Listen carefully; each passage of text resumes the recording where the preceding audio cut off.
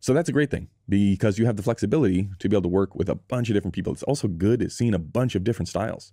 Like some directors work uh, in some ways where they're much less what would what would be an example much less aggressive. Some people don't like to talk about camera or lenses. They just say you know what? You do you.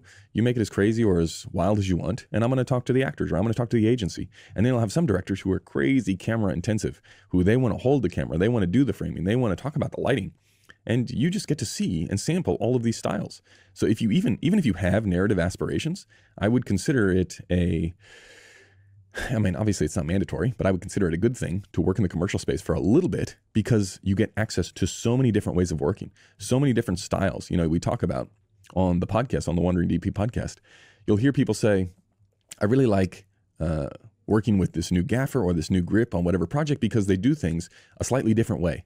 And once you learn that technique, you can take it forward, and that becomes one of your little tricks in your deck of cards that you can just like, oh, we've got, uh, we need a silhouette.